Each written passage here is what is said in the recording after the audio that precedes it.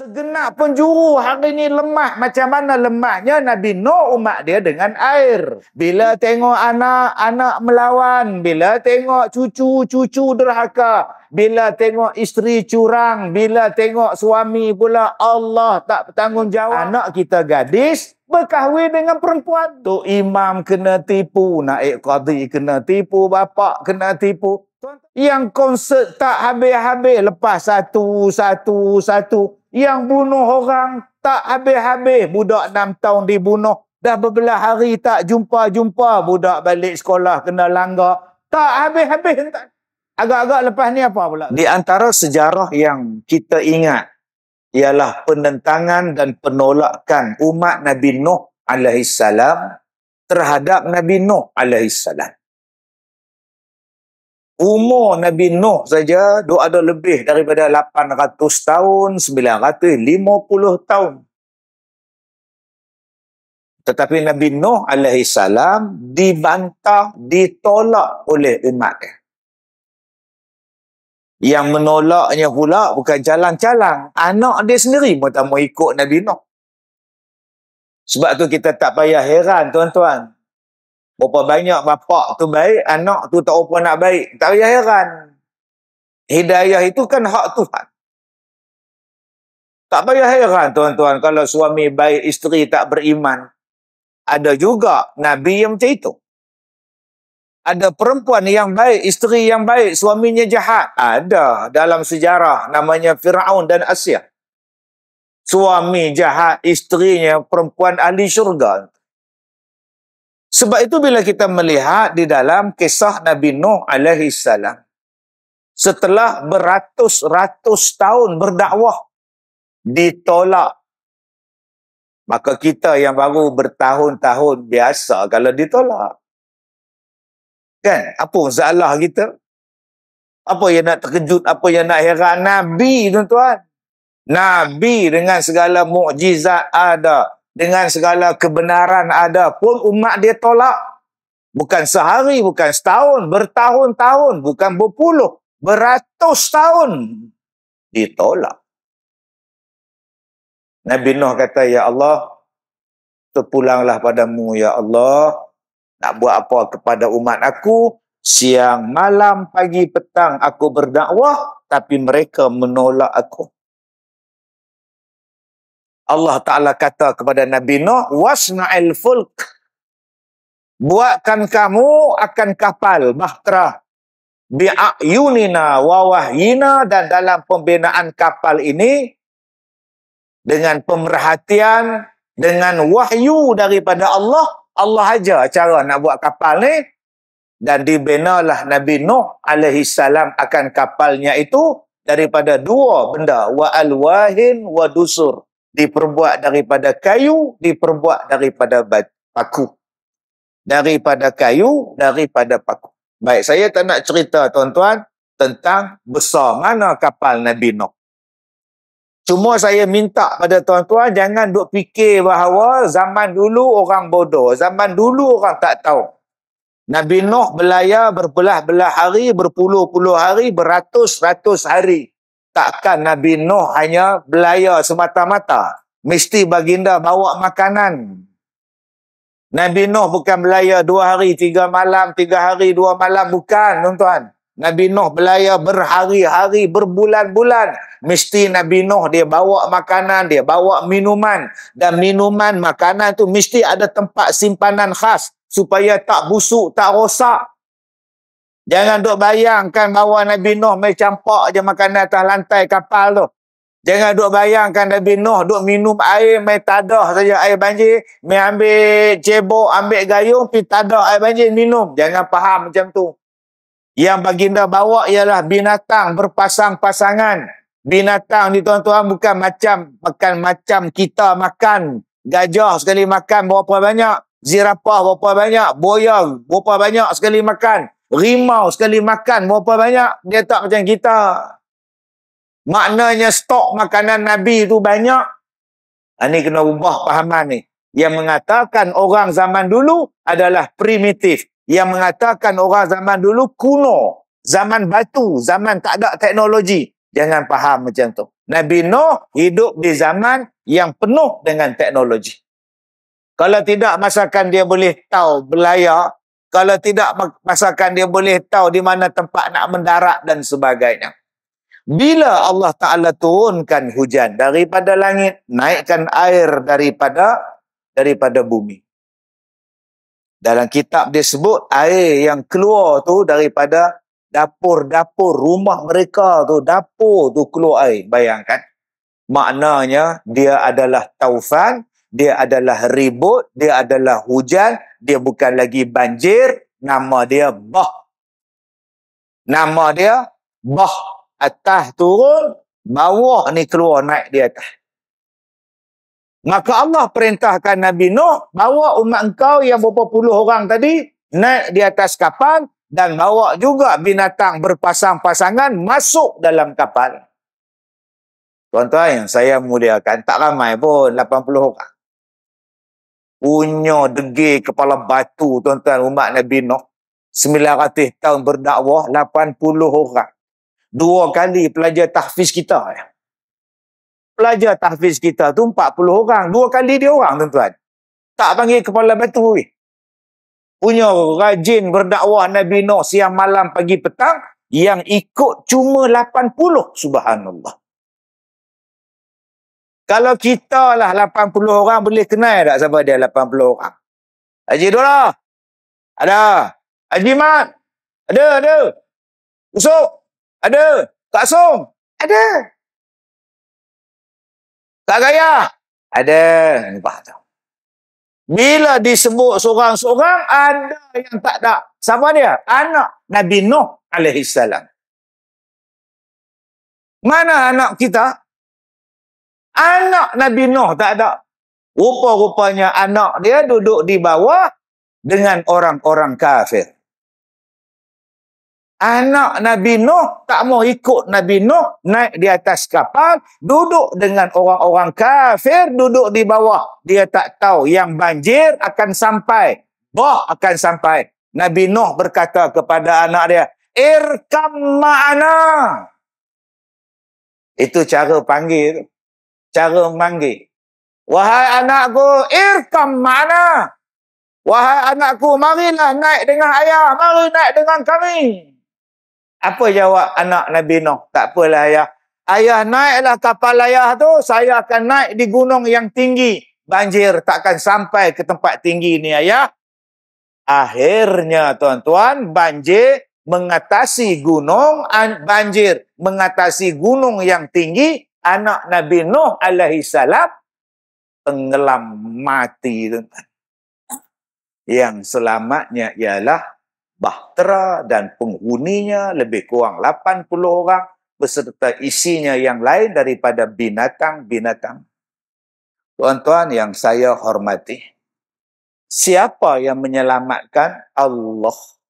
Apa kenderaan yang menyelamatkan bahtera Nabi Nuh alaihi salam? Daripada apa? Daripada banjir yang datang pada segenap penjuru pada masa itu dari celah gunung terbit, daripada celah dapur keluar air, daripada dalam tanah keluar air, daripada bukit, daripada langit turun mencurah-curah, mendatangkan ombak yang sangat besar, ribut yang sangat besar, manusia habis mati dalam kelemasan. Yang selamatnya apa? Yang berada di dalam bahtera. Itulah tajuk tak ada tengok bebas. Apa bebas zaman Nabi Nuh dibawanya ceramah. Apa punya penceramah ni? Orang kita kan suka menilai daripada peringkat awal. Tuan-tuan, zaman sekarang ni tuan-tuan tak lemah ke? Zaman sekarang ni tuan-tuan tak lemah ke? Enam harakat saya tanya. Kita hari ini lemah daripada segenap penjuru. Segenap penjuru hari ini lemah. Macam mana lemahnya Nabi Nuh umat dia dengan air. Kita hari ini lemahnya daripada apa? Macam-macam kelemasan. Bila tengok anak, anak melawan. Bila tengok cucu, cucu derhaka. Bila tengok isteri curang. Bila tengok suami pula Allah tak bertanggungjawab. Bila tengok maksiat. Banyaknya maksiat ya Allah. Oh, bila tengok perempuan tak tahu laki ke perempuan. Bila tengok perempuan, tengok perempuan dia ni laki ke perempuan. Lah lah sekali anak darah nikah dengan perempuan. Bayangkan tuan-tuan hari ini, anak kita gadis berkahwin dengan perempuan. Tu imam kena tipu, naik qadi kena tipu, bapak kena tipu. Tuan-tuan tak lemah ke hari ini?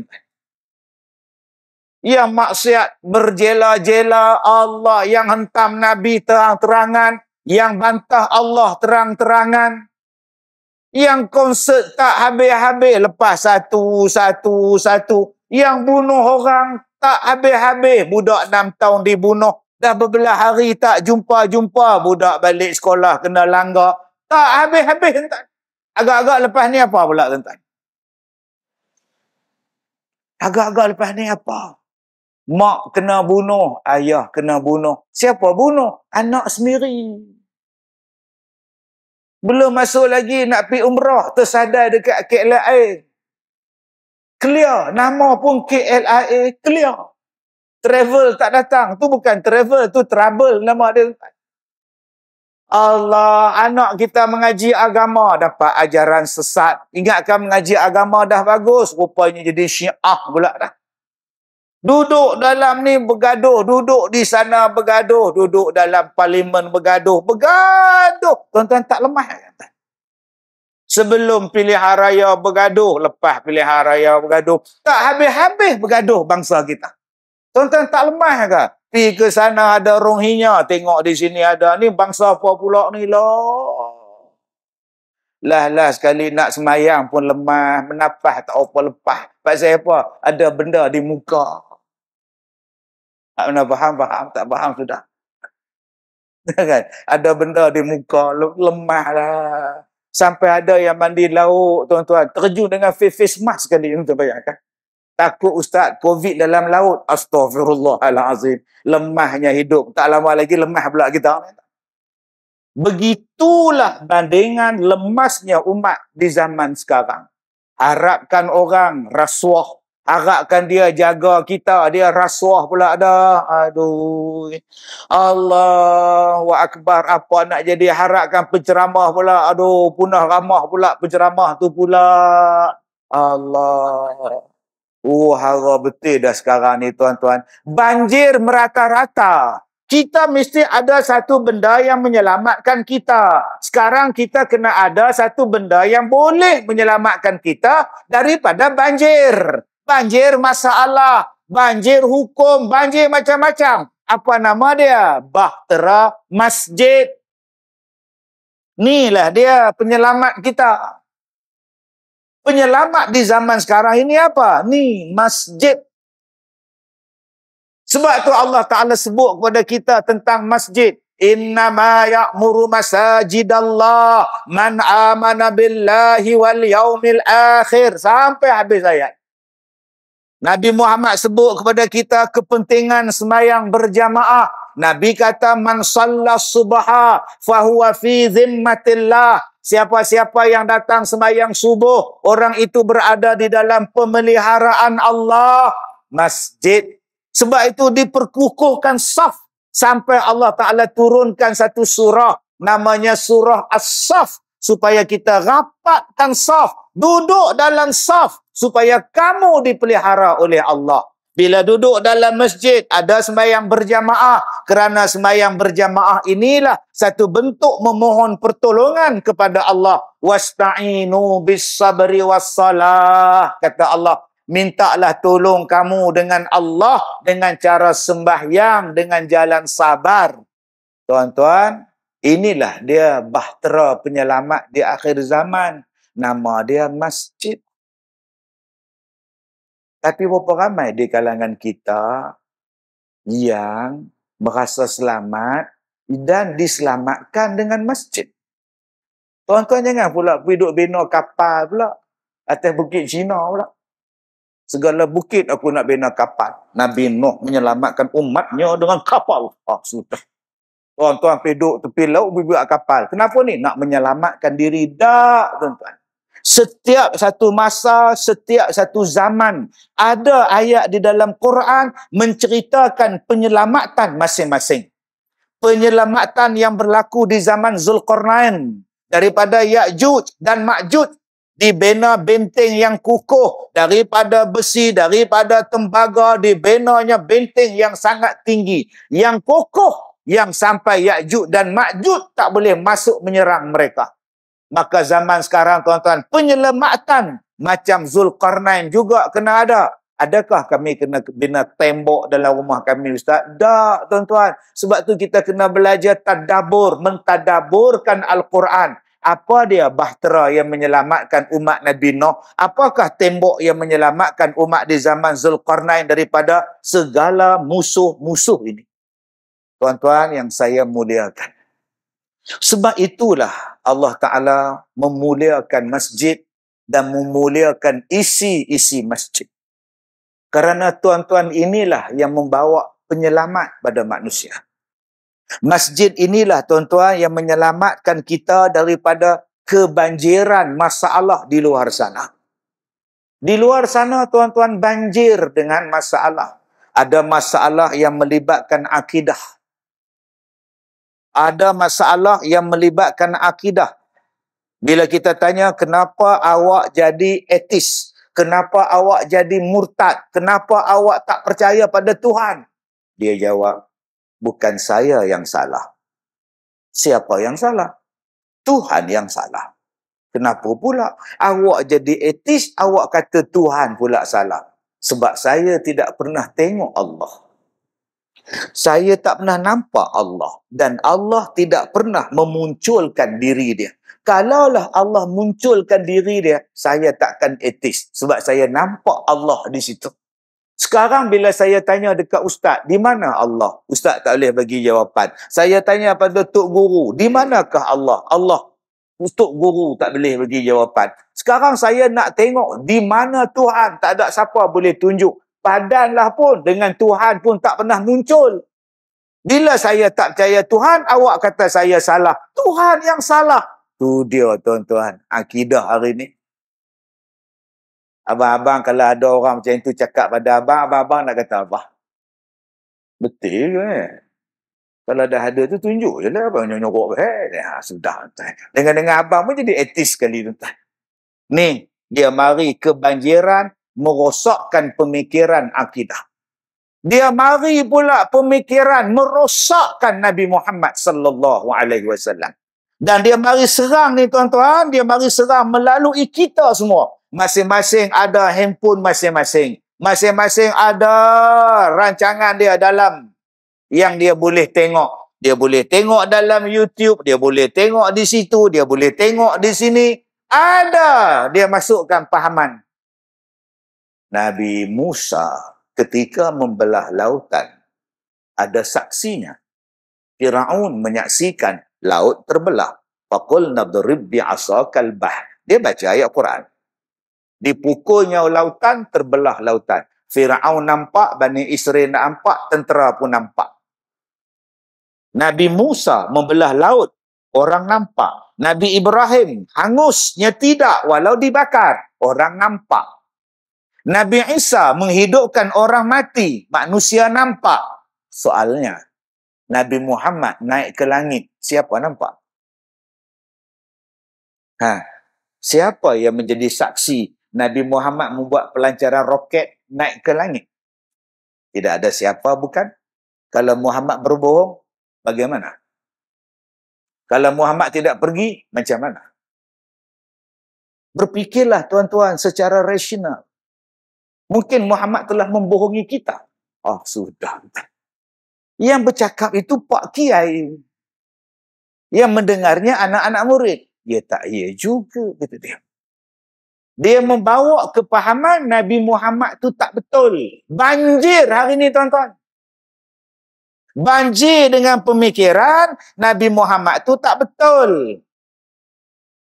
Nabi Muhammad kata rapatkan soft. Rapatkan soft. Samakan tumit kamu. Samakan bahu kamu. Rapatkan soft. supaya tidak menyelinap syaitan di tengah-tengah saf kamu. Hari ini berapa banyak yang bercakap, renggangkan ya, jauhkan ya, jauh ya, ya, jauh ya, ya, ya, ya, penyakit ya, ya, ya, ya. Takkan sunnah Nabi membawa penyakit? Jangan salam ya, jangan salam penyakit ya, ya, ya, ya, ya. Takkan bersalam itu membuat penyakit? Ia kan diajar oleh Nabi. Subhanallah. Nabi Muhammad kata ubat kepada penyakitnya ialah abbatus sauda. Tidak, tidak. Abbatus sauda tidak mampu menyembuh. Nabi cakap. Kalau Nabi bercakap itu benar. Dia adalah sedih. Kalau kau tak percaya pada dia, kabarkan kepada kami perkataan siapakah yang lebih benar daripada Nabi Muhammad sallallahu alaihi wasallam.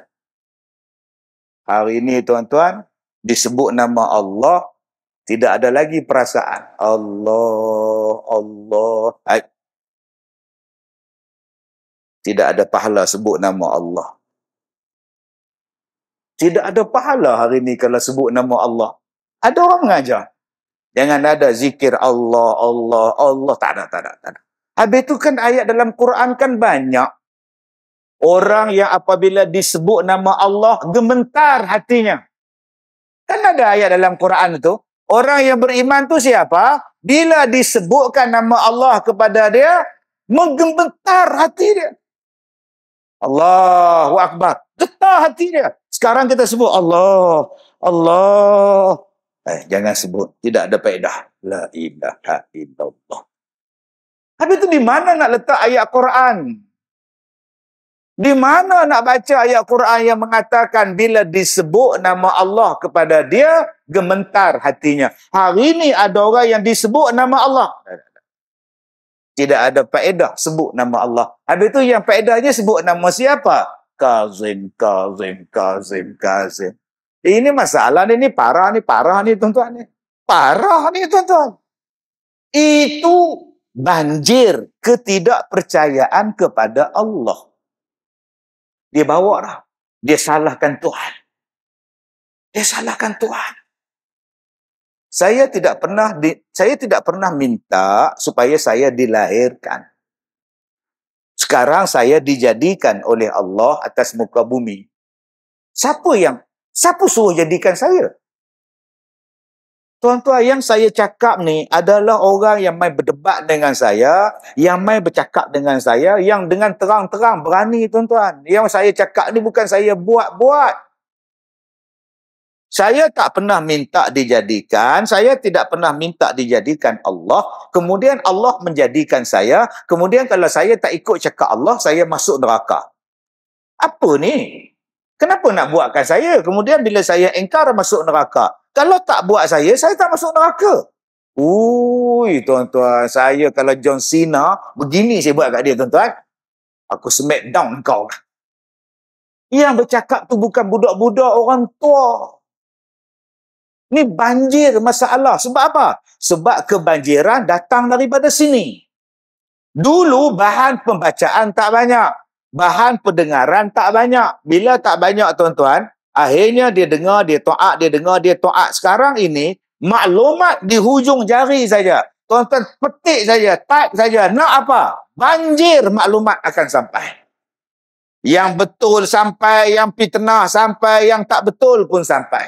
Tuan-tuan, hari ini kebanjiran anak-anak derhaka pada mak bapak. Banjir. Ada anak yang cakap, mak saya toksik Racun. Toksik tu racun. Ada pula orang yang sokong. Ibu-ibu jangan bercakap pada anak ya. Aku yang lahirkan engkau. Aku yang kandungkan engkau. Aku yang susukan engkau. Tiba-tiba engkau derhaka pada aku. Ibu, jangan cakap macam itu ya. Awak mengandungkan dia, awak melahirkan dia, awak menyusukan dia. Bukan kehendak dia. Kehendak awak dengan suami awak. La ilaha illallah. Kalau awak tak kahwin, kalau awak tak projek dengan suami awak, tak munculnya anak. Sekarang bila anak tak nak bela awak, awak ungkit balik awak mengandung pada dia. Jangan ibu, ini toksik. Anak tak pernah minta dilahirkan. Awak yang gatal dengan suami awak. Ha? Kalau saya, tuan-tuan, the rock, saya angkat kening sebelah ni, tuan-tuan. Eh. Saya smack down, tuan-tuan. Dia boleh cakap, anak tidak pernah minta dilahirkan. Dia dilahirkan hasil usaha sama bapa dengan mak dia. Kalau bapa dan mak dia tak bekerja sama, tak jadi dia. Ni zaman sekarang, tuan-tuan punya ramai penyokong. Anak disokong oleh orang ramai supaya bantah mak dia. Lawan bapak dia. Ni banjir masalah sekarang. Tuan-tuan, belum lagi banjir masalah atas nama hak saya. Hak saya. Memang saya dilahirkan sebagai seorang lelaki.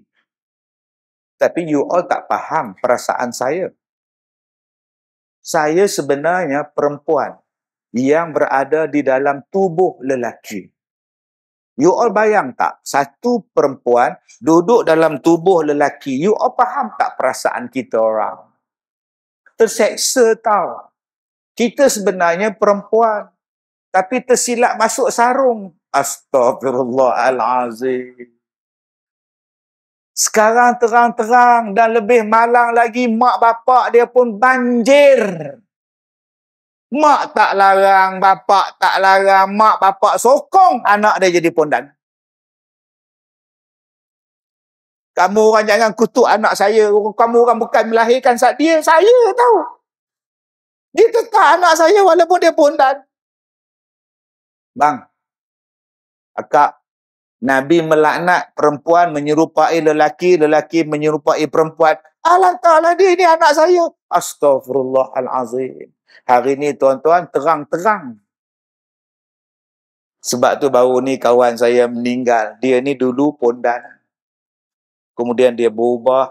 Dia jadi lelaki balik. Dan dia berusaha menarik kawan-kawan dia balik pada jalan yang Allah Ta'ala reda. Mati dah. Dua minggu lepas. Allahu Akbar. Dia ni semangat kuat tuan-tuan. Dia takut ustaz, saya takut ustaz, saya takut. Tak apalah kalau takut kita buat kerja. Saya bantu. Apa yang awak nak minta tolong, saya tolong. Apa program awak nak buat, beritahu saya. Oh, Masya Allah tuan-tuan. Ni cikgu ni hak mati ni. Dia balik jadi normal, jadi lelaki balik tarik. Punya banyak halangan untuk dia tuan-tuan. Halangan ugutan orang marah pada dia halangan orang nak pukul dia. Sebab nak tarik balik orang. Laki-laki orang laki-laki yang nak jadi perempuan ni nak tarik balik. Lah saya program dengan dia tuan-tuan. Satu program saya suruh dia orang buat korban lembu. Saya bagi seekor lembu hampa korbankan lembu tu. Orang lain dah habis balik dah dia orang tak habis gitu punya lembu lah duk potong lembu ni macam mana? Ya Allah. Dan kau bawa pisau potong bawang. Mana nak selesai ipin? Oh, kau bawa lah golok. Cepatlah sikit. Kita tak tahu. Saya tak marah dia orang tuan-tuan. Oi, dia orang dah balik ke pangkal jalan. Ni, ni banyak ni tuan-tuan. Oi. Siang lain, malam lain. Tuan-tuan. Malam Aziza, siang Aziz. Ini, ini, ini parah ni, parah ni tuan-tuan. Banjir hari ni. Allah. Dan banjir hari ni orang terang-terang melakukan maksiat. Semalam. Semalam saya sebut tuan-tuan. Benda yang saya penin kepala. Memikirkan masalah. Saya nak marah pun ada. Saya benci pun ada. Ish. Eh, ya Allah. Kalau tuan-tuan dengar ni, tuan-tuan pun nak termuntah. Dia isteri orang, ada suami. Habis tu, dia berkenalan dengan suami orang. Dia berkenalan dengan suami orang. Dia berzina dengan suami orang tu. Bila suami dia tahu, suami ceraikan dia. Yang isteri kawan tu pula pun minta cerai juga. Yang isteri kawan tu berzina pula dengan bekas suami dia. Oh, sudah. Ini bukan 69 ni tuan-tuan. Bila dia kahwin dengan suami yang dia berzina ni, dia berzina pula dengan bekas suami dia. La ilaha illallah. Bila suami baru dia tahu suami ni cerai pula, balik nikah balik dengan bekas suami dia yang pertama yang yang pertama tadi. Bila dah kahwin balik dengan suami yang pertama berzina balik dengan bekas suami kedua. Ha ni pasal apa sebab tu saya kata tadi saya nak termuntah dengar ni. Kena ada dah tuan-tuan. Undang-undang mengorat isteri orang ni kena ada balik. Jangan main-main zaman sekarang tuan-tuan Ni banjir masalah ni, masalah zina. Banjir. Allah banjir lagi dengan masalah penderaan. Dia janda, ada bapa tiri, dia ada anak dara 17 tahun, dia pakat dengan suami dia yang baru rogol anak dia yang kandung. Pakat tuan-tuan dia bercinta dengan satu laki-laki dan dia ada anak kandung. Suami dia mati. Bercinta dengan boyfriend baru. Dia pakat dengan boyfriend baru dia. Rogol anak dia tuan-tuan. Tanpa ada belah kasihan terhadap daging, darah daging dia sendiri. Ni banjir ni tuan-tuan. Kalau zaman Nabi Nuh, banjir air. Sekarang zaman kita, banjir yang menenggelamkan akidah. Banjir yang menenggelamkan fiqah. Banjir yang menenggelamkan agama kita, akhlak kita. Di manakah yang boleh menyelamatkan kita? Inilah tempat dia, masjid. Kenapa ada Ustaz di masjid? Kerana di masjid ini yang pertamanya ada pengabdian setiap waktu dengan Allah. Kita tak pernah putus dengan Allah. Ribut pun untuk imam sampai. Taufan pun untuk bilai sampai. Tetap ada orang bersembayang dalam masjid kita. Ni tempat barakah, ni tempat rahmat. Cuba tuan-tuan tengok. Pagi-pagi waktu orang lain tidur. Sunyi jalan. Pukul lima setengah sunyi jalan raya yang akan berjalan di jalan raya lima setengah pagi, lima empat lima pagi, pukul lima lima puluh pagi ialah orang masjid. Mereka yang berjalan naik motor, naik kereta, berlampu datang masjid. Orang lain tidur. Orang macam ni Allah tak sayang kata tuan. Dan bayangkan kita termasuk dalam golongan itu. Allahu Akbar. Orang lain pagi-pagi ke malam-malam kunci pintu rumah. Kita pula buka pintu masjid. Orang lain malam-malam pagi-pagi tutup lampu di rumah. Kita pula buka lampu masjid untuk nak panggil orang. Orang lain sedap tidur tuan-tuan. Tok Bilal buka, buka, buka, buka. Allahu Akbar, Allahu Akbar. Orang lain makin tarik selimut. Kita pula pergi ambil wuduk. Kita pula pergi ambil air sembayang. Sembayang sunat. Allahu Akbar. Subhanallah. Ini tempat yang barakah, tuan-tuan. Kerana apa? Kerana ada di dalamnya itu orang-orang yang solat. Kerana adanya dalam masjid itu orang yang Allah iktiraf. Innama ya'muru masajidallah man amana billahi.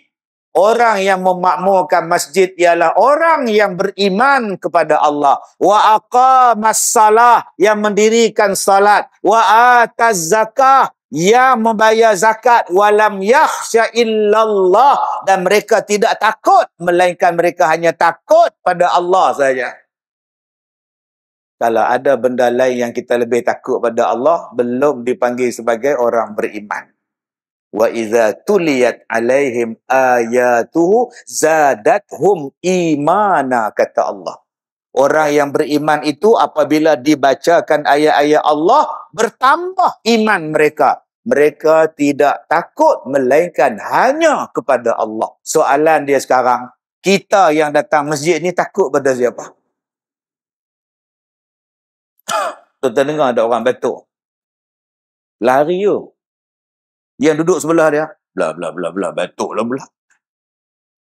Ah, sudah. Hai. Hai. Orang sebelah dia. Bla bla bla bla. Bersin lah bla. Bersin pun takut sekarang. Batuk pun takut. Padahal bersin dan batuk ni sejak daripada zaman Nabi Adam dah ada. Abang-abang balik daripada umrah. Biasalah celak pakai kepiah putih, ketayak pakai, jubah beli kat Madinah pakai. Tok Imam tengok, eh, Tok Syekh kita mau. Ji, Imam aja berkat tanah haram, tanah suci. Ji, Ji berkat aja balik umrah aja. Oh, sudah. Sembayang zuhur tak apa. Ni maghrib ni. I say, man. Maghrib ada suara ni. I say, man. Abang-abang, kalau tak nak jadi imam, senang aja. Buat-buat batuk. Kenapa Ji? Covid lari dengan dengan Tok Imam berlari tuan. Tok Imam, Tok Siak, Tok Lebay semua lari. Tinggal dia seorang tuan. Allah kata takut hanya pada Allah. Kenapa yang begitu hebat masjid ni tuan-tuan? Tadi saya sebut kerana ada orang yang berzikir di dalam dia. Kerana ada orang yang membaca Quran di dalam dia. Kerana ada orang yang iktiqah di dalam dia dalam masjid mana ada orang buka aurat? Barkatnya tuan-tuan. Dalam masjid mana ada orang yang berhadas besar? Dalam masjid mana ada orang yang kotor? Semua yang datang ni bersih. Saya baru balik daripada tempat tu, tanah suci ni. Saya duduk satu tempat. Saya tengok ada lapan orang. Mak Saleh saya tengok dia ni Islam ke tidak ni. Mak Saleh, Mak Saleh, pelancong Mak Saleh. Yang tuan-tuan duk tengok dia Melaka dulu. Kita boleh kenal kan. Saya pun pergi kat dia orang. Tanya dia orang dari mana? Poland. Poland. Are you Muslim? No. But we have the visa. Tak Islam tuan-tuan. Dah sampai tempat tu. Dengan alasan kami ada visa. Dulu kita nak cari yang tak Islam datang ke situ mana nak jumpa? Sekarang tuan-tuan bukan kata yang tak Islam pun boleh sampai. Yang seluar pendek pun dah duduk situ tanpa ada perasaan malu isteri pakai jubah tutup mata dia tolak anak dia pakai seluar pendek orang orang Arab Orang kita kalau pergi ke sana, Allahu Akbar. Beli igal beli serban merah, jubah putih. Asal daripada Mumbai. Tapi pergi ke Arab tuan-tuan, jadi macam Arab. Yang dia orang pula duduk di tempat dia orang nak jadi mak salih. Ni, mudah-mudahan Allah bagi kebaikan pada kita. Sebab tu saya tak heran tuan-tuan dengan banjir lah, dengan apa bala semua. Takut kita. Dah tak ada lagi dah sensitif tuan-tuan. Kita pula jadi susah nak masuk. Kena cok sana tak senyum langsung. Pum pam pum pam pum pam. Sampai malah kita nak pergi. Kalau bukan mengenangkan Rasulullah. Kalau bukan mengenangkan Kaabah. Allah. Kita main tawah kat sini. Tuan-tuan. Di dalam masjid kita ni tuan-tuan ada orang berzikir yang mengharapkan redha Allah. Sebab tu kita jangan jadikan masjid kita macam pasar malam. Jangan jadikan masjid kita lepak-lepak. Jadikan masjid tempat berzikir. Kalau Haji Dolah berzikir di tiang, biarkan dia terus berzikir. Jangan kita pula pergi duduk sebelah Haji Dolah, duduk nyimbang. Kacau dia. Biarlah dia berzikir. Subhanallah, subhanallah, subhanallah. Tidak kita duduk berbual sebelah dia. Malam ni jadi ke ikan bakar? Tanya ikan bakar pula tuan-tuan. Masjid adalah tempat untuk berzikir. Bukan masjid untuk berzikir. Ada orang yang baca Quran dalam masjid. Tambah-tambah tuan-tuan ni ada mahat tahfiz. Ada pelajar tahfiz duduk baca Quran 24 jam. Allah seronoknya tuan-tuan. Bahtera penyelamat. Yang ketiga, apa yang ada di dalam masjid? Majlis ilmu. Yang inilah yang menyelamatkan. Ada ustaz yang menerangkan akidah. Allah memanglah kita tak nampak sebab Allah tidak bertempat. laisa kamislihi syai' Allah bukan macam kita. Ustaz Kazim atas kerusi Tok Imam atas mimbar. Haji Mak dekat tiang Pak Mak Tempe di luar Pak Cik Jaga dekat parking. Allah bukan macam itu. Allah bukan bertempat. Kalau kamu kata Allah di situ Allah kena munculkan diri supaya kami semua boleh nampak. Maknanya Allah tu bukan Tuhan lagi. Dia dah jadi makhluk sebab dia dah jadi macam awak. Selalu aku tengok Ustaz Kazim dalam YouTube. Hari ini Ustaz Kazim hari Al-Faizin. Sebab apa? Sebab dia makhluk. Allah tak boleh macam itu. Selalu duk baca je ayat Quran. Dia sebut nama Allah. Baru hari ini nampak Allah depan mata lah.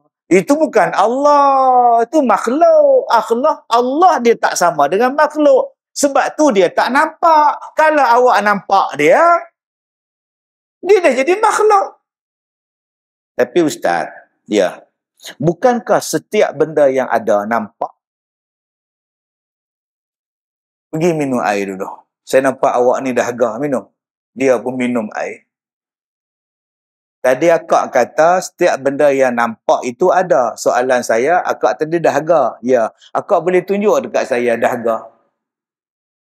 Mana nampak? Eh, setiap benda yang ada mesti nampak. Dahaga ada tak? Ada? Okey, tunjuk.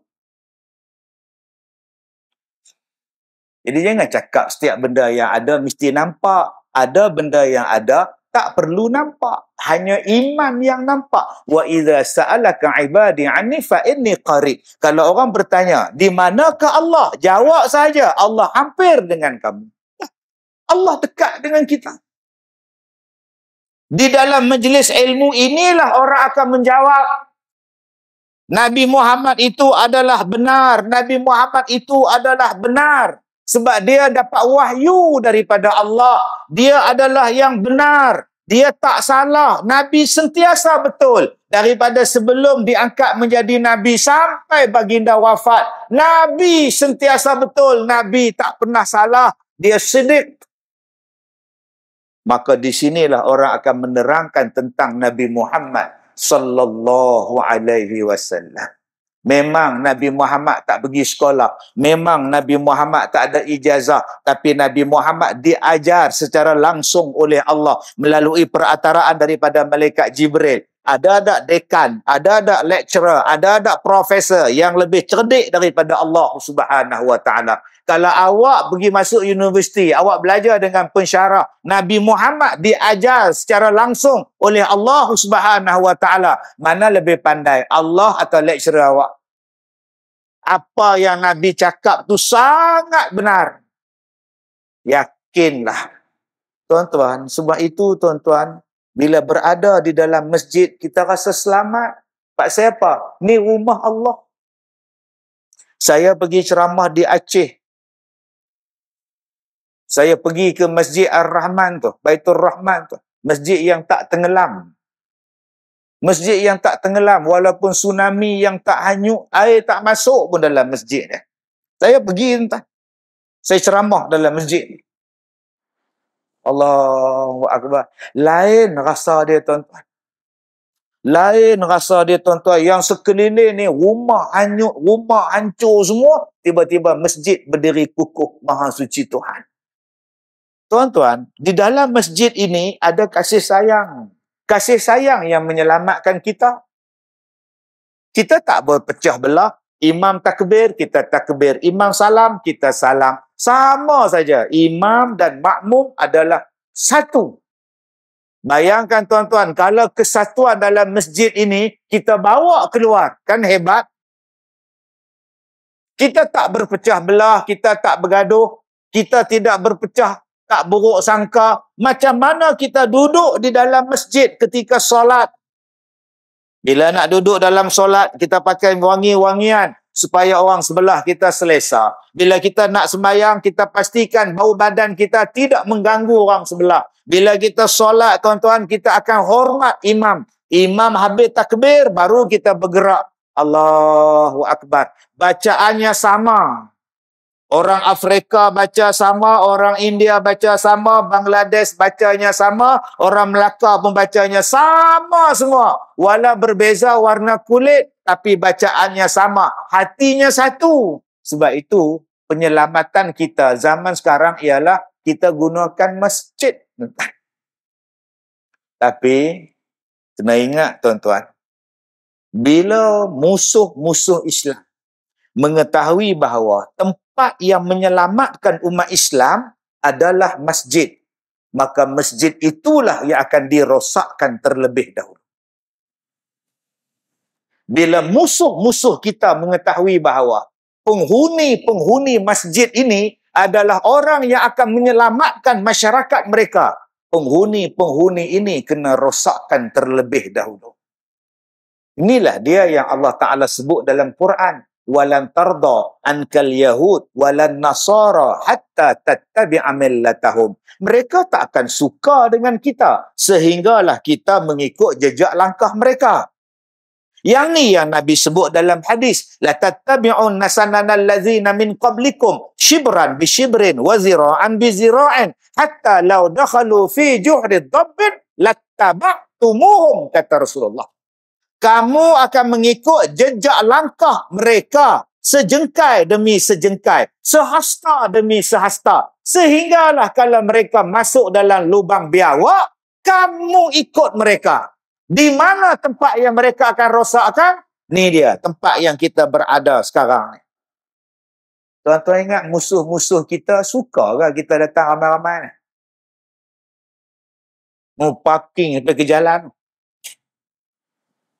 Yang mana tak ada parking balik, frust. ada juga tuan-tuan. Tak ada. Parking tak ada. Abang dah kata jangan datang. Kamu nak datang. Tengok mana ada parking. Belum. Dia singgah makan tom yam kat depan tu. Tuan -tuan. Otomiam ada pula parking. Tadi pagi saya ceramah di Masjid Muaz bin Jabal di Setiawangsa. Semalam saya di Sungai Siput, Lubuk Cina. Saya ingatkan Sungai Siput ni ada kat Perak je, rupa kat Melaka pun ada. Nah, solok hijau, serban hijau ke apa kat semalam. Lepas habis solok serban hijau tu, saya balik ke KL, ceramah di KL pagi tadi. Kemudian saya datang pula dengan tuan-tuan malam ni di sini. Pagi besok saya nak terbang pula pergi Indonesia pula entah. Okay. Susah. Apa tu tu ada negeri-negeri yang tak bagi saya ceramah. Tak apa. Saya pindah Indonesia ceramah tak ada pula. Tak ada masalah apa. Tak ada ceramah. Duduk di rumah. Main lato-lato apa masalah. Tuan-tuan yang saya muliakan. Saya sebut pagi tadi tentang keadaan kita ya keadaan kita, masyarakat kita. Macam mana yang mereka merosakkan kita? Mereka bukannya tuan-tuan nak menjahanamkan kita ni sikit-sikit.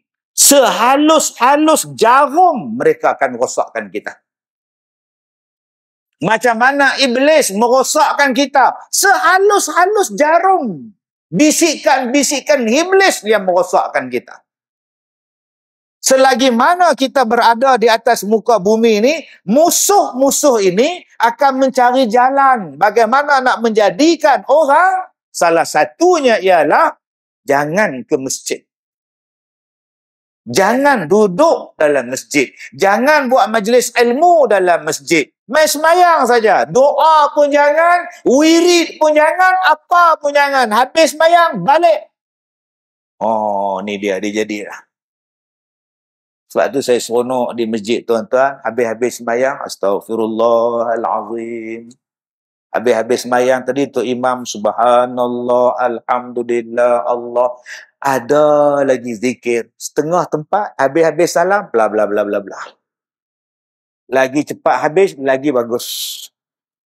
Kita masih lagi duduk. Subhanallah. Subhanallah. Cuma mata je dia. Subhanallah. Subhanallah. Subhanallah.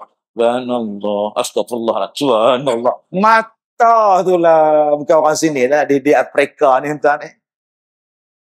Okey. Tambah yang lalu tu pula janda. Alhamdulillah. Alhamdulillah. Oh, eh. Lagi teruk banget tuan. Zikirlah dengan anggota dan lidah. Dengan lidah dan hati. Sebab tu kita berzikir dengan jari kita. Anggota. Zikir pula dengan lidah. Subhanallah. Dimasukkan dalam hati. Subhanallah, subhanallah, subhanallah. Itu nama dia zikir yang sampai dalam hati kita. Ada zikir yang tak sampai hati pun tak apa. La ilaha illallah, la ilaha. Tak apa. Tak. Sebut saja. Mudah-mudahan kalimah yang terakhir itu adalah kalimah la ilaha illallah sebelum kita mati. Yang tu tak apa. Sebut biasa. La ilaha illallah. Astaghfirullahaladzim. La ilaha illallah. Kan bagus. Tengah bawa kereta, la ilaha illallah. Brek mengejut, kereta langgar dari belakang. Kita kena sakit jantung, mati. Bila orang tanya anak dia, ayah kamu macam mana? Ayah brek mengejut. Ada kereta depan brek kereta belakang hentam kereta kita orang. Betul ayah pegang dada dia, ayah pun tak ada. Ayah kamu sempat tak mengucap? Memang pun tiap-tiap hari dia sebut La ilaha illallah. La ilaha illallah. Pun mati. Ha, kan bagus. Ini yang banyaknya bodoh. Betul. Oi bodoh pun. Kalimah terakhir dia bodoh. Ha, eloklah tuan-tuan. Tukarkanlah dengan kalimah La ilaha illallah. Tuan-tuan yang saya muliakan. Maka musuh-musuh Islam ini akan mencari jalan macam mana nak menjadikan masjid kita ni kosong. Jadi apa yang mereka buat? Nabi sebut di dalam hadis la taqum sa'ah hatta yatabahan nas fil masajid. Nombor satu kata Rasulullah. Tidaklah berlaku kiamat melainkan orang berbangga-bangga dengan masjid. Ini nombor satu. Mereka akan buat masjid itu macam mereka punya. Bukan Allah punya, bukan umat Islam punya. Mereka menganggap masjid ni kami yang punya, bukan sama-sama kita punya. Maka datanglah peraturan dan undang-undang yang menjadikan orang tak suka ke masjid. Dia jadilah peraturan orang pindah ke tempat lain sebab tempat lain lebih senang orang pindah ke kedai makan, orang pindah ke restoran, di restoran boleh lepak-lepak, ada wifi, ada bola Cristiano Ronaldo. Tak ada siapa pun nak larang. Orang Siam tak larang, orang Thailand tak larang, mamak tak larang, orang Melayu tak larang. Masuk, masuk. Lai-lai katong, masuk, masuk. Mai masuk masjid dia tengok apa hal ramai budak-budak muda ni. Tak pernah datang, tiba-tiba datang ni bahaya. Tok siap. Tengok-tengok tabung tu. Kam jalan pula. Dengar pada budak-budak muda, lari balik. Saya singgah semayang satu masjid, semayang isyak. Dia orang dah habis jemaah, saya semayang isyak lambat. Saya musafir nak pergi ceramah kat depan. Sedang saya semayang tu, Tok Siak datang, sebelah tempat saya semayang tu switch lampu. Dia boleh sound saya. Semayang cepat sikit, nak tutup lah. saya pun hangguk. Baik, baik, baik, baik. Astagfirullahaladzim. Hei, kita semayang pun suruh balik, tuan-tuan. Jangan kata nak panggil orang datang. Yang datang pun bla bla bla bla bla. Apa kejadah kau ni? Sebab tu saya pergi Masjid Muaz bin Jabal, tuan-tuan pergi tuan-tuan.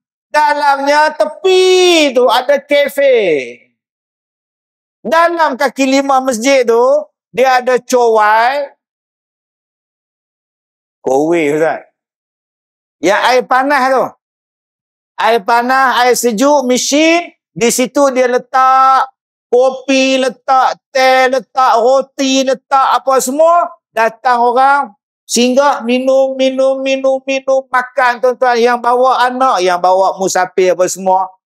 Bila dia pun nak balik, dia orang bubuh duit dalam tabung. Orang tengok dah habis kopi, orang hantar kopi. Orang tengok dah habis teh, orang hantar teh. Orang tengok biskut dah habis, orang masjid hantar. Lama-lama tuan-tuan punya ramai duduk. Sadi saya tengok tuan-tuan. Allah masjid mereka hidup pada jam 11 pagi. pada jam 10 pagi. Orang keluar masuk, tuan-tuan.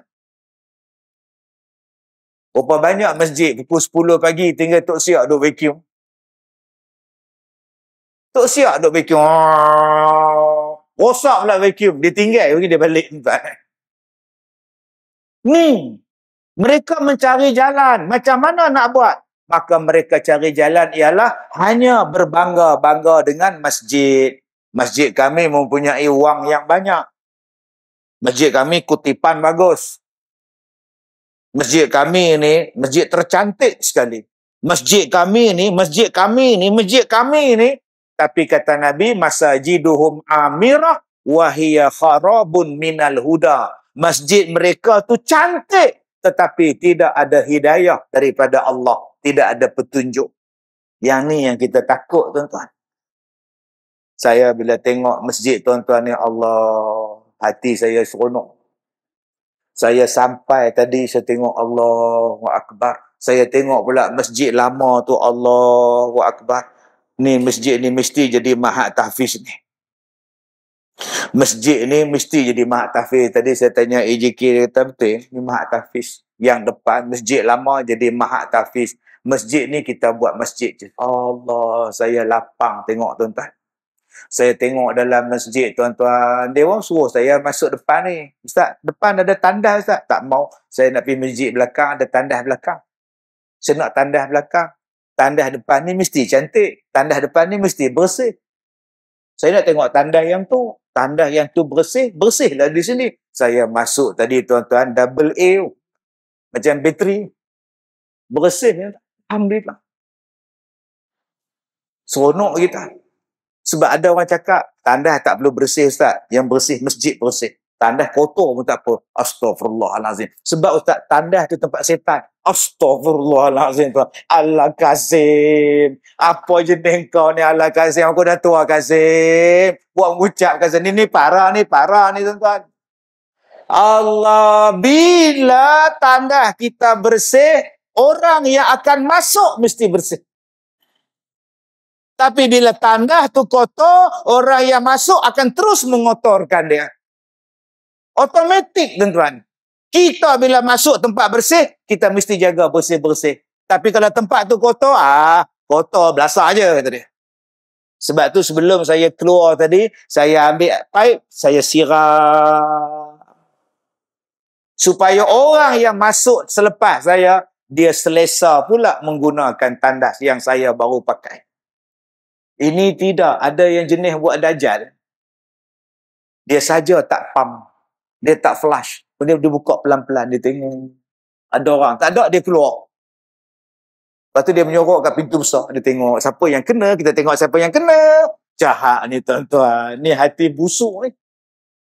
Allah tuan-tuan.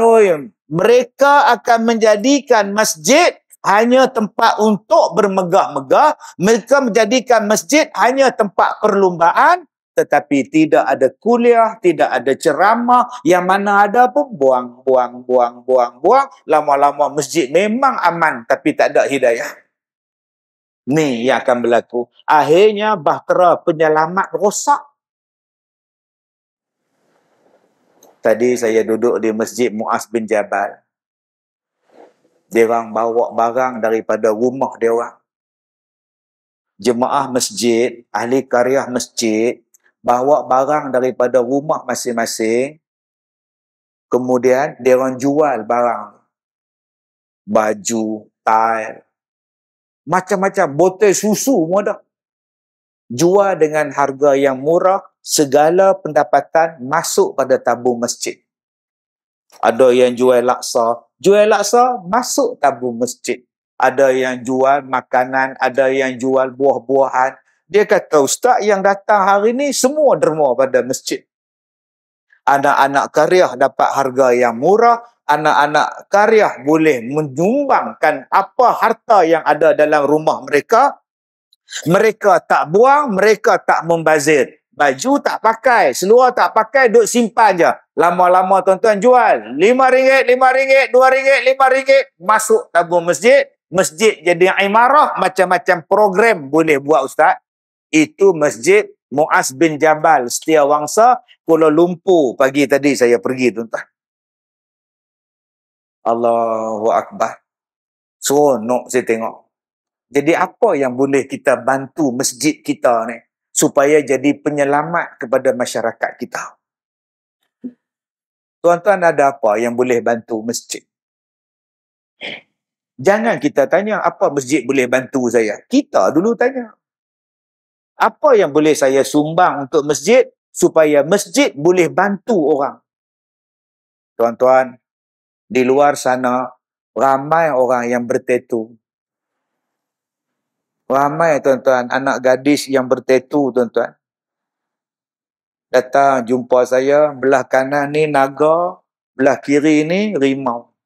Tapi saya tak tengok. Anak dara, gadis. Saya tanya buat di mana tetu ni? Buat di Petalin Jaya. Kedai Cahaya Nualik. Bayangkan tuan-tuan, dia selak baju dia. Cahaya Nualik duk lukis gambar rimau, gambar naga. Ustaz, Ustaz nak tengok dah. Oh, no, no, no. Saya bukan kuat iman. Saya tak, ya, tak, tak, tak, tak. So, isteri saya tengok dah. Tiap-tiap malam duk mimpi rimau, tiap-tiap malam duk mimpi naga, dia jadi susah hati. Rupa-rupanya ada tetu kat belakang. Ustaz tolong buang. Saya kata boleh, ambil iron. Ambil striker, striker. Saya tak pandai. Kena pandai tempatnya, orangnya dan bukan sekali.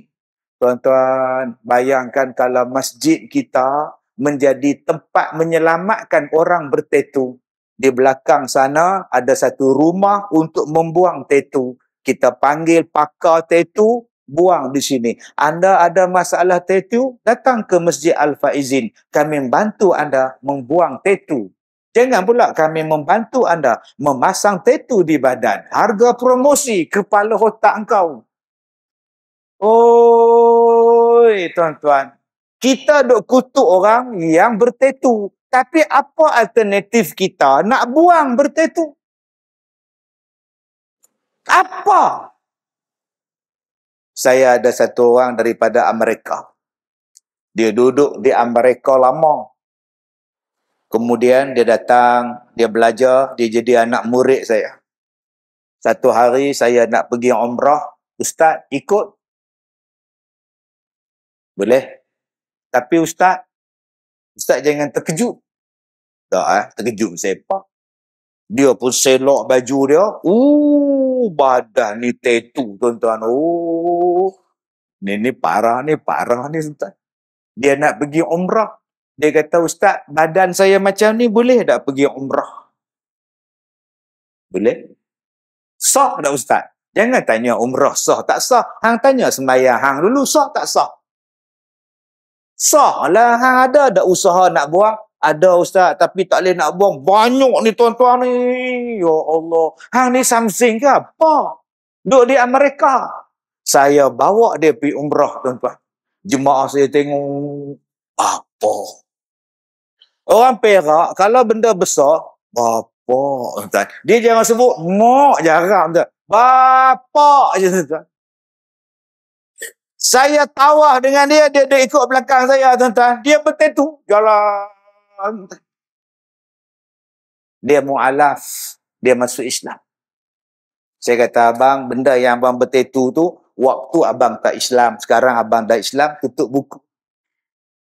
Abang mengaji elok-elok, Mak dia tak Islam, bapak dia tak Islam. Tak apa abang, abang belalah mak abang, abang belalah bapak, pak dia meninggal. Dua hari lepas, dia hantar mesej kat saya, Ustaz, Alhamdulillah, saya nak jumpa Ustaz, mak saya nak masuk Islam. Mak saya nak masuk Islam. Dia nak jumpa Ustaz, nak minta nama, Ustaz buh nama untuk dia.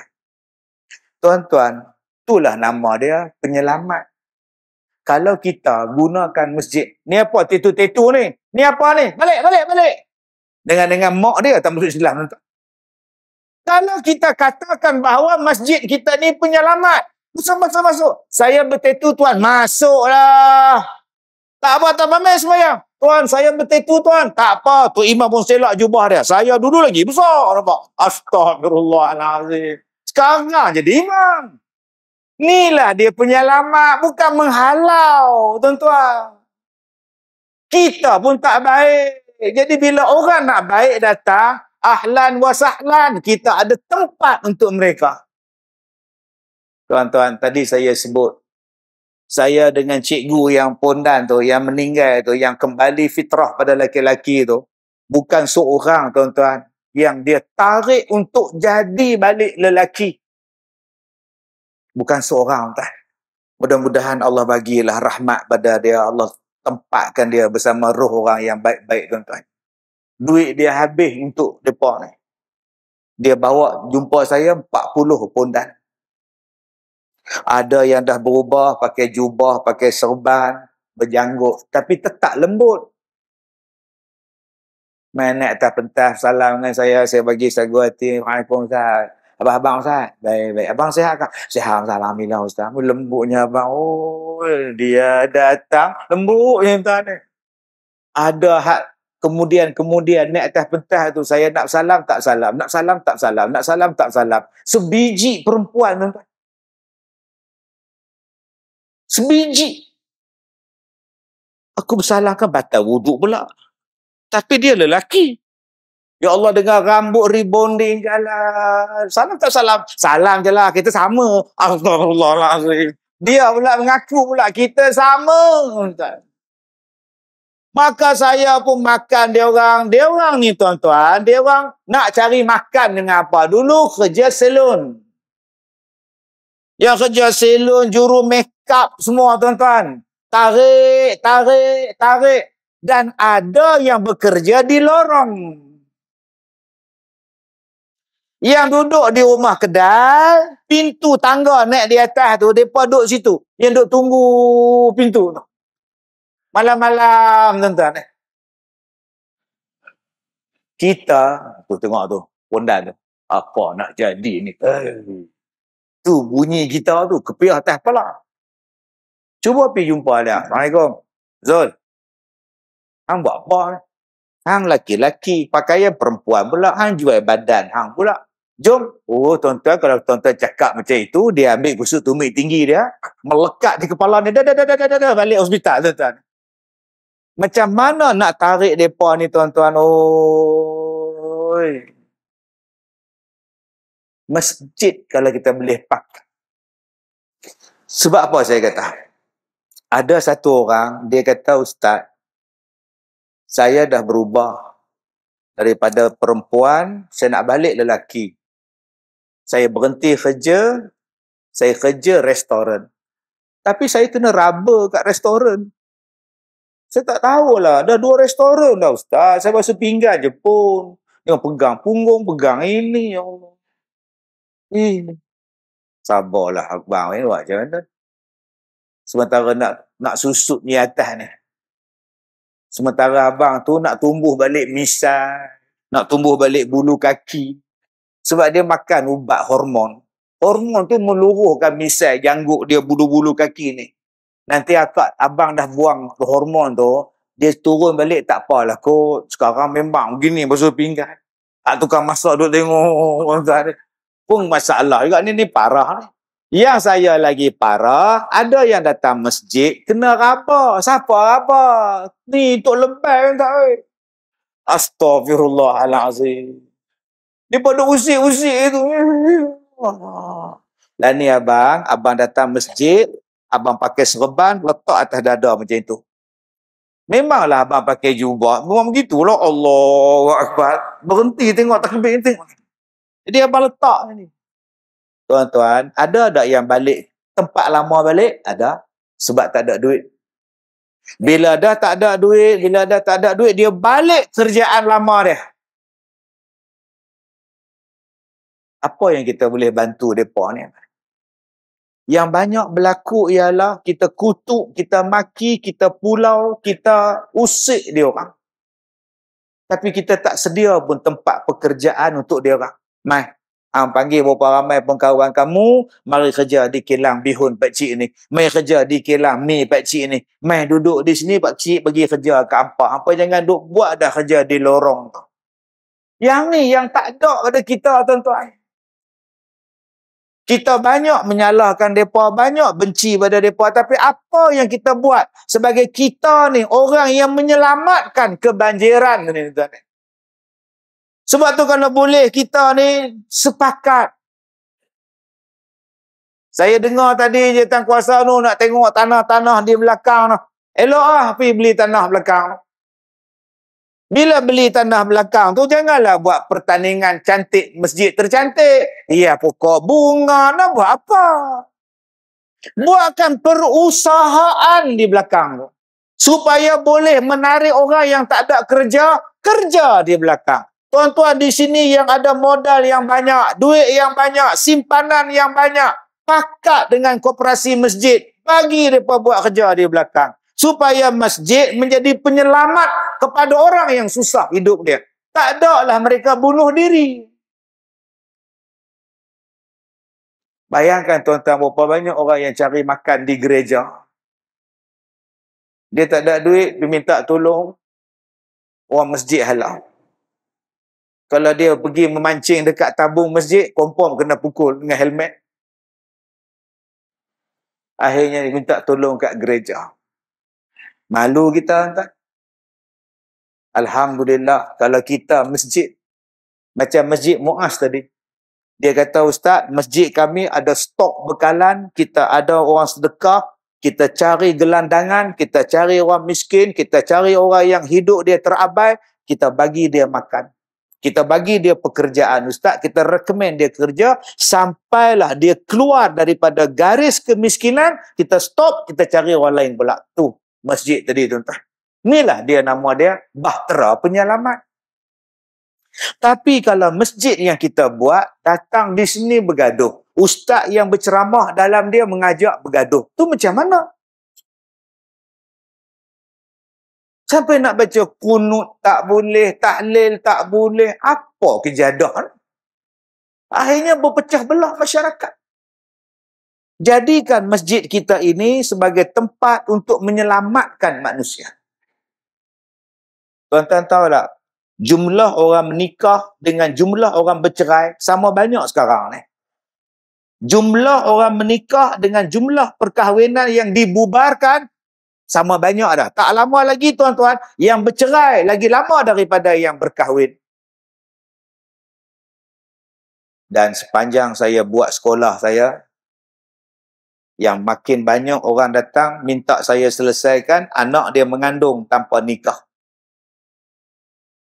Saya buat sekolah ni tuan-tuan, sekolah. Tapi dia bantu orang macam-macam. Alhamdulillah Allah bagi. Anak dia tiga tempat mengandung.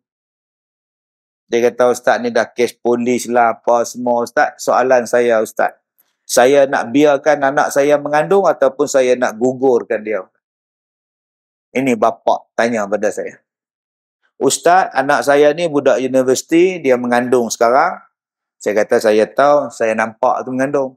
Masalah, masalahnya Ustaz, saya nak letakkan anak saya ni di sekolah Ustaz. Kemudian, bila dia habis beranak, ustaz ambil anak dia, saya ambil anak saya balik. Saya tanya dekat dia, siapa dia yang mengandungkan anak kak ni? Ustaz tanyalah dia sendiri. Siapa kak yang mengandungkan kak siapa? Ramai. Astaghfirullahalazim tuan-tuan. Bila saya buka sekolah saya ni tuan-tuan baru saya tahu banjir masalah kita ni terlalu banyak. Tapi saya rasa kapal penyelamat sekolah saya Al-Barakah tu tak bertahan lama tuan-tuan. Tak lama lagi karam tuan-tuan. Sauh tak cukup.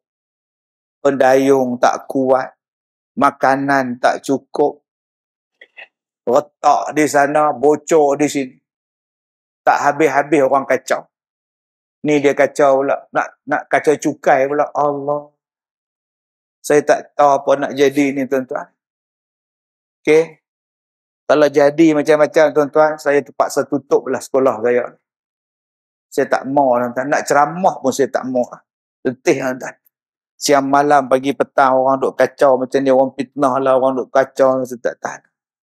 Dah lah penyelamat tu tak ramai. Kapal penyelamat pun tak banyak. Hak selamat tu pula orang tarik nak bagi tenggelam lagi. Jadi insya-Allah tuan-tuan, kalau jadi apa-apa pada sekolah saya nanti, tuan-tuan sambunglah. Macam mana nak selamatkan orang yang daripada murtad.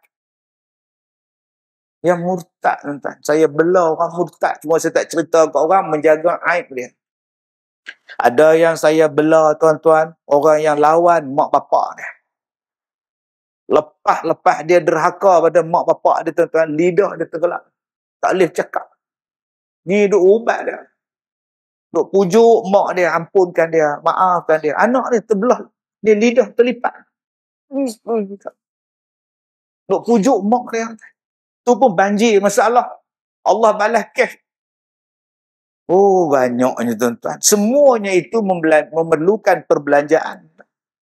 Tak ada duit tuan-tuan, lingkup.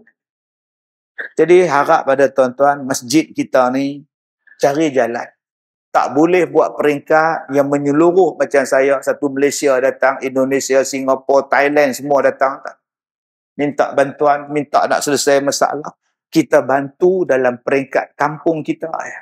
masjid tariah kita. Jadi saya harap tuan-tuan kita di sini tak ada berpecah belah. Di sini kita bersatu hati. Di sini kita berpakat. Masalah orang kita selesaikan sama-sama. Kongsi rezeki sama-sama, kongsi pendapat sama-sama, kuatkan sembahyang, bersatu hati, banyakkan majlis ilmu. Insya-Allah tuan-tuan Allah turunkan rahmat dan mudah-mudahan kita menjadi bahtera penyelamat dan kita lah ahli yang dalam bahtera itu menyelamatkan orang yang kelemasan di luar. Terima kasih kepada penganjur, terima kasih kepada jatan kuasa masjid. Saya minta maaf jika terkasar bahasa. Terima kasih semua.